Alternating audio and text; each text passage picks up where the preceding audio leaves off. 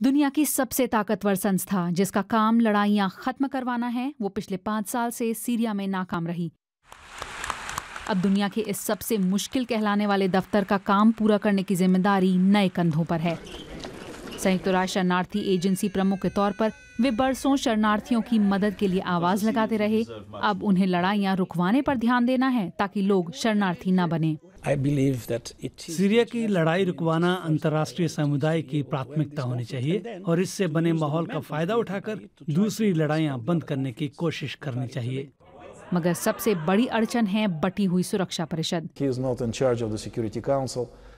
वो सुरक्षा परिषद के इंचार्ज नहीं है परिषद अपने इंचार्ज खुद है और दुर्भाग्य से ऐसे मतभेद हैं जिन्हें दूर करना मुमकिन नहीं। इकहत्तर साल पहले दूसरे विश्व युद्ध के सबक से संयुक्त राष्ट्र का जन्म हुआ था। तब विपरीत हितों वाले सारे पक्ष साथ आए थे।